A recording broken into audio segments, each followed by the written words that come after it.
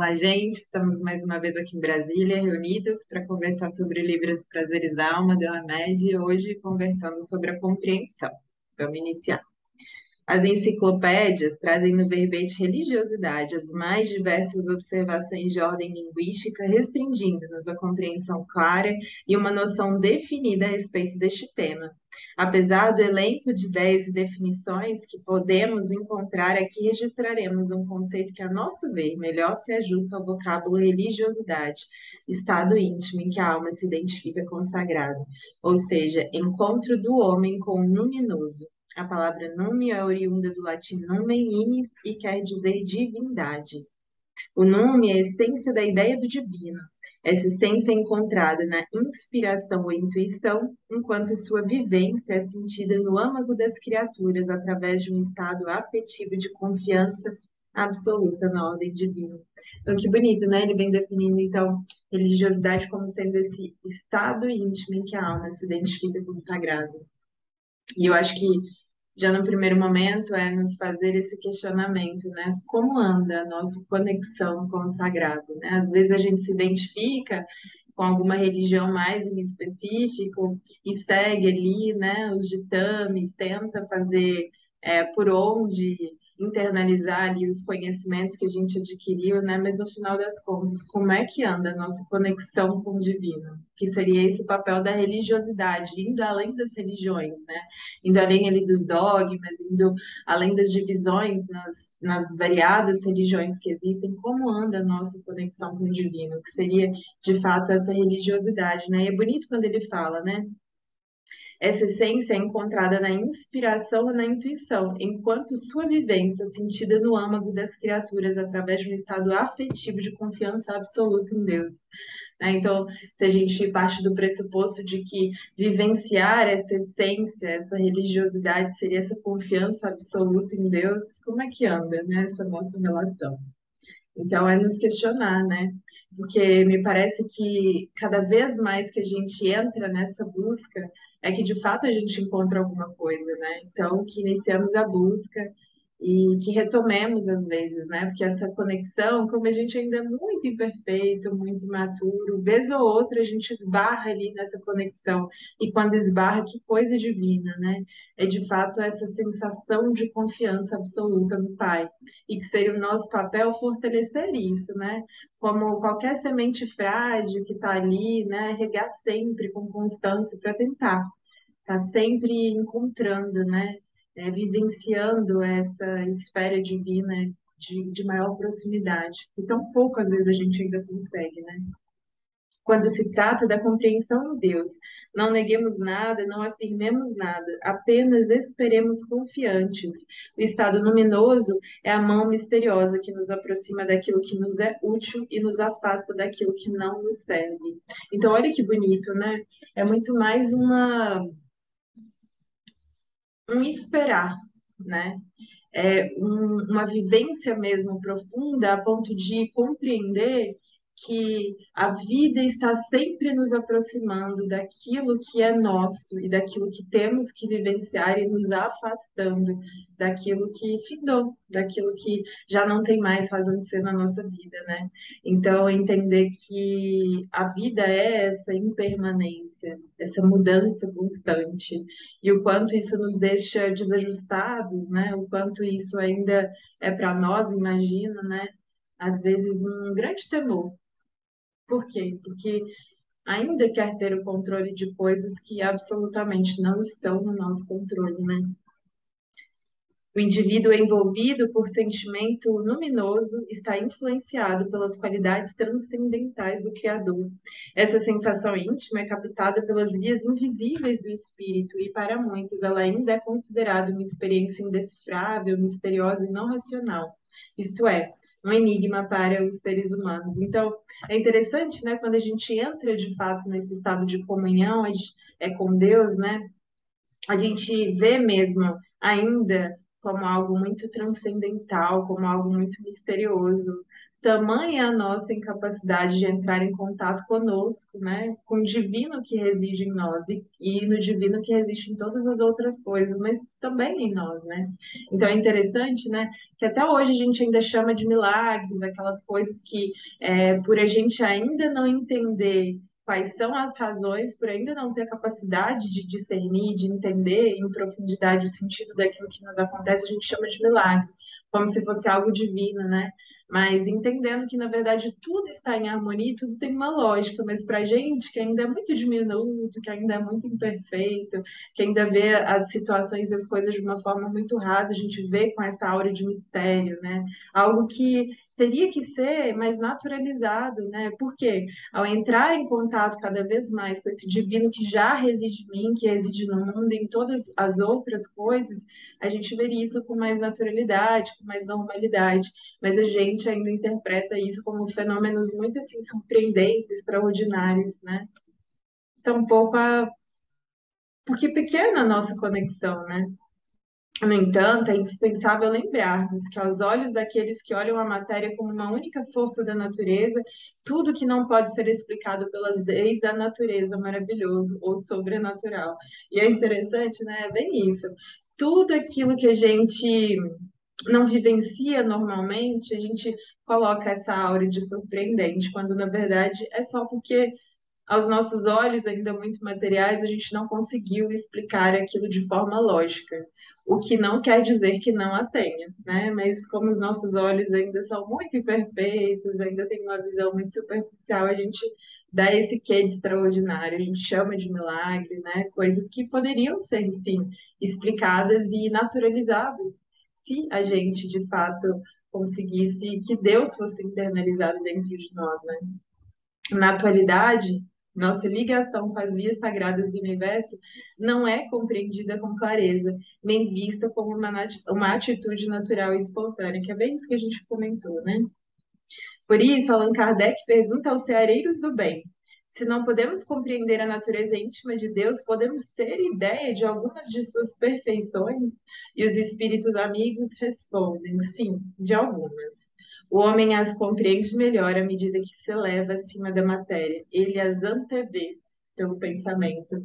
Então, olha que interessante, né? Que seria de fato aquilo que ele comentou ali no início, que seria o início dessa intuição, né? Desse, eu não sei como isso me chegou, mas me parece uma informação muito importante, pertinente. Por mais que olhe adentre ali, né?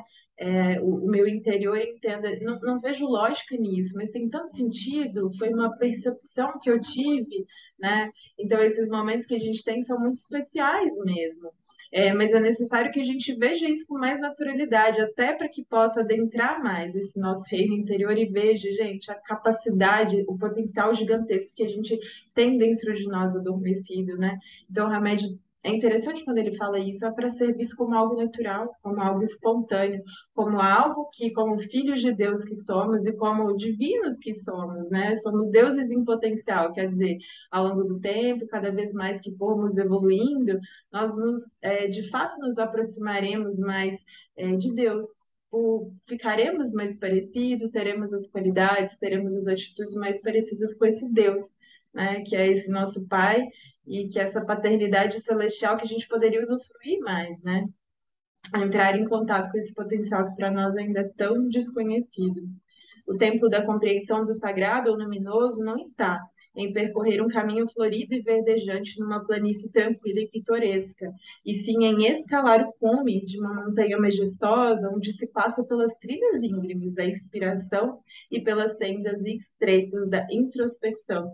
Então é interessante, né? Porque às vezes a gente vê com esses olhos como se fosse algo assim é, fantasioso, né? Como se fosse tudo alegre, maravilhoso, como se ao entrar em contato com esse divino, com essa essência, com essa religiosidade, a gente visse tudo florido, a nossa vida passasse a ser incrível e não, né? Não é ver esse campo florido, como diz Hamed, mas é escalar uma montanha íngreme, né? Uma montanha muito alta, uma montanha escarpada, cheia de desafios, mas ainda assim né? Mesmo nesses momentos de dificuldade, porque a evolução é isso, né? A gente, a gente chama muito assim é, dessa escada, né? Dessa montanha íngreme que a gente vai subindo cada vez mais. E isso é evolução, né? Não é esse campo verdejante, sempre florido, em que nada de ruim acontece, né? Em que eu não tomo contato com as minhas sombras. E não, é entrar em contato com as sombras, com as dificuldades, com as vicissitudes próprias de uma escalada, né?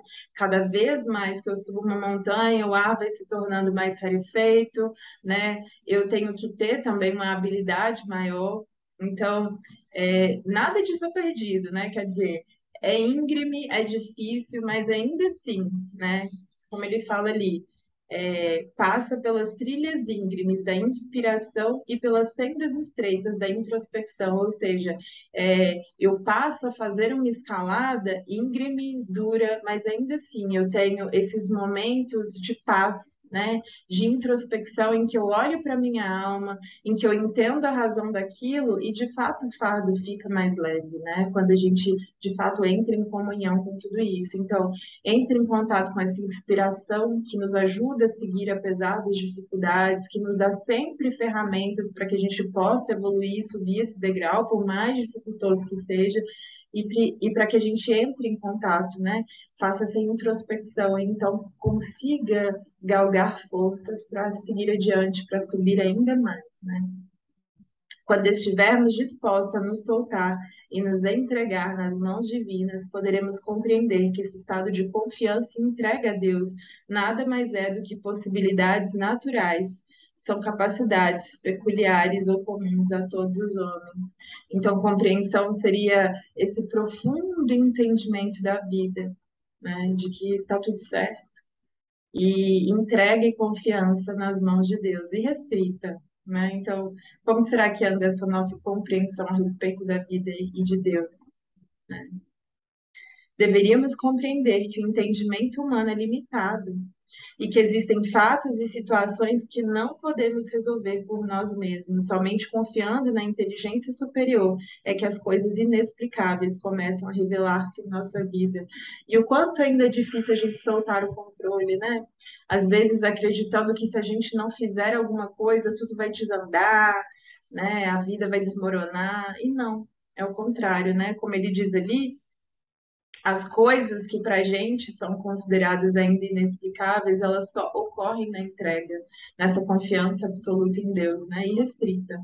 Então, não é controlando as situações, não é controlando as pessoas, não é controlando a vida que de fato a gente vai entrar em contato com essa nossa essência, né? Pelo contrário, é essa entrega irrestrita de que está tudo acontecendo da forma como deveria. E é então que a espiritualidade amiga pode então nos acessar, né, pelas vias da inspiração e a gente pode adentrar, né, ver coisas que a gente ainda não viu, interpretar coisas que ainda não tinha sido capaz de ver pela nossa visão muito limitada. Então é o que ele fala ali, né? É, temos que compreender que o entendimento humano é limitado e que existem fatos e situações que não podemos resolver por nós mesmos. E gente, é a maioria delas, né? E o estoicismo, que é uma corrente filosófica, ele teve como um dos grandes filósofos assim representativos Epíteto, né? E Epíteto ele bate muito nessa tecla que a gente se preocupe apenas com aquilo que a gente pode controlar. E quando a gente passa a entender isso e, e entender, olha, isso eu controlo, isso é da minha parte, isso daqui já não é mais, né? É, é quase uma separação do joio e do trigo mesmo, né? E relaxar naquilo que não está no nosso controle. E será que a gente consegue fazer isso? Então pensa, quanta energia desprendida para tentar controlar e resolver coisas que não estão no nosso controle. Né? Quando, na verdade, o que a gente deveria fazer é fazer a nossa parte, a parte que nos cabe, que é mínima mesmo, porque quanto mais a gente adentra a vida, mais vai vendo a complexidade das coisas. Então, a maioria das coisas que eu faço ou que, é, ou que espero, muito pouco depende de mim, mas é fazer o melhor que eu posso naquele exato momento, com aquelas pessoas, e deixar que a vida corra, que a vida transcorra como deve ser. E será que a gente tem feito isso? Né? Eu vou só pegar um trechinho do epíteto aqui no livro Arte de Viver, que ele fala assim: lembre-se, as coisas sob, sob o nosso poder estão naturalmente à nossa disposição, livres de qualquer restrição ou impedimento. As que não estão, porém, são frágeis, sujeitos à dependência e determinada pelos caprichos ou pelas ações dos outros. Lembre-se também do seguinte: se você achar que tem o domínio total sobre as coisas que estão naturalmente fora do seu controle, ou se tentar assumir as questões de outros como se fossem suas, sua busca será distorcida e você se tornará uma pessoa frustrada, ansiosa e com tendência a criticar os outros. Então, que a gente se fixe de fato naquilo que a gente pode fazer e naquilo que a gente pode controlar. De resto, confiança absoluta e restrita em Deus, né? Então, é, você vê que é, todas essas mensagens elas vão convergindo para um aprendizado único, né? Que é permita, permita que a vida de fato possa se mostrar a nós fresca tal qual é e que a gente entenda cada vez mais que a parte que nos cabe ela deve ser feita, mas que apesar disso ela é pequena e tá tudo certo, né? Essa confiança absoluta nas leis da vida e em Deus, né? Essa fé mesmo que a gente tem que ir exercitando. É indispensável, porém, entendermos a expressão lançarmos-nos na mão de Deus como uma manifestação valorosa de devoção e fé, e jamais como uma manifestação de entrega desesperada diante da perda e da ruína. Então é interessante, né, que é, esse nos lançar nas mãos de Deus deveria ser visto como essa manifestação de devoção e de fé, e não como esse desespero de que perdi, de que está tudo ruído, então já que eu não tenho escolha, eu entrego nas mãos de Deus, né? Vem antes disso, né? Vem antes de que a gente perca, antes da ruína, é, é um movimento anterior de devoção e de fé que a gente vai exercitando ao longo do tempo. No primeiro caso, ela possui o significado de que o bem maior deve prevalecer acima de qualquer solução ou julgamento da nossa parte. E é interessante, né? Porque é entender que o resultado daquilo que a gente espera, às vezes não vai ser o melhor, às vezes não vai ser o que a gente quer, mas entendendo ali deve prevalecer acima de qualquer solução ou julgamento da nossa parte, bem maior, que às vezes é aquilo que para nós é visto como um mal, mas que não é. Né? Se a gente de fato tivesse esses olhos de ver, a gente conseguiria ver muito além. É, porque imediatistas que somos, a gente está ali circunscrito aquele breve momento, né? Em geral, é, querendo que os nossos desejos, querendo que as nossas necessidades prevaleçam, mas nem sempre é o bem maior, né? Então, essa confiança absoluta, né, e restrita em Deus é entender que o bem maior vai sempre acontecer, ainda que sobre a nossa ótica, sobre o nosso julgamento não seja melhor para a situação ou melhor para nós, né?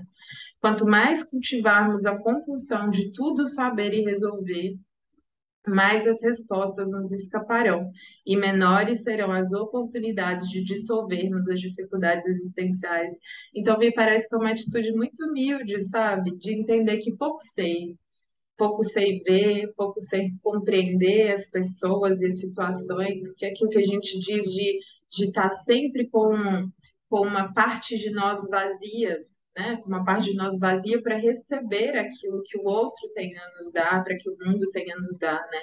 Então, quanto mais cultivarmos a compulsão de tudo saber e resolver, mais as respostas nos escaparão. Porque pensa, se a gente sabe, se a gente imagina que tem a verdade absoluta e o conhecimento total sobre algo, sobre alguém, como que a vida vai nos trazer novas respostas? Né? Se a gente é, não, não deixa espaço para dúvida, não deixa espaço para essa curiosidade de aprendiz, né? de que já que estou aqui para evoluir, vamos ver o que, que os outros têm a me fornecer. Né?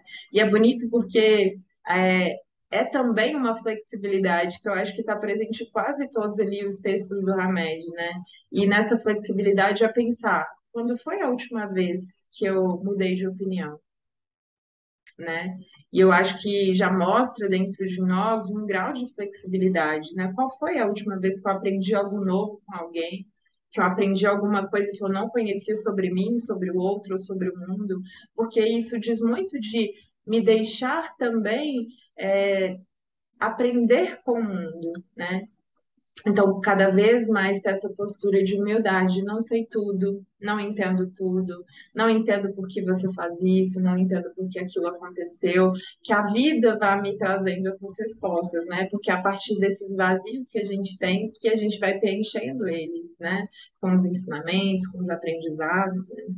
Todavia, não podemos nos esquecer de que as dádivas que Deus nos conferiu não devem servir como passaporte para a apatia, já que o livre-arbítrio, a inteligência, a vontade e o senso crítico são dons que podemos e devemos utilizar para enfrentarmos as crises que surgem em nosso cotidiano.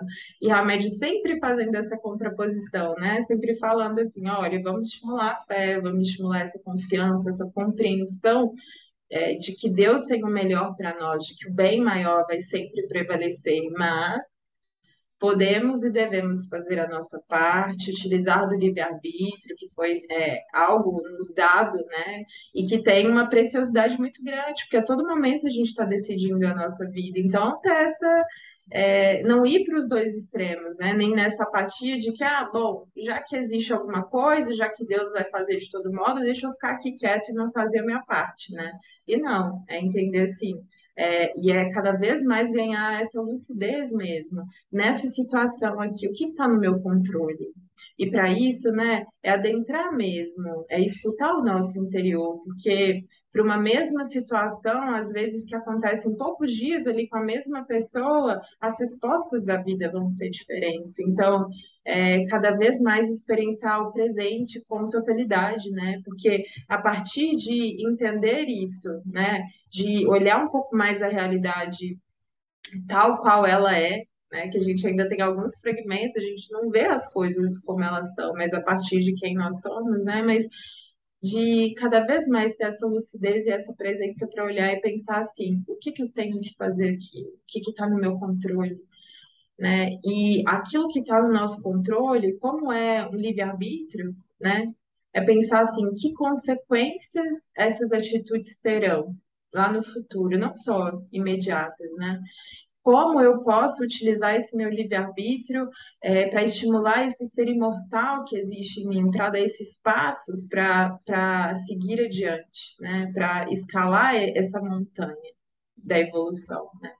Então, na parte que nos cabe, que a gente de fato pense sobre isso, porque é nosso dever, né? não é nem um pode, é um deve. Né? Nós devemos exercer é, aquilo que nos cabe, mas também confiar que naquilo que não está no nosso controle, que a gente entregue a Deus, né?